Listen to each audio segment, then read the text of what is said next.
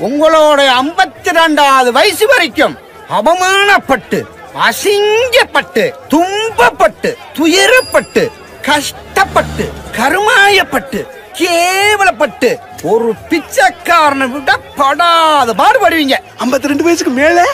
அதுவே பழகிரும்.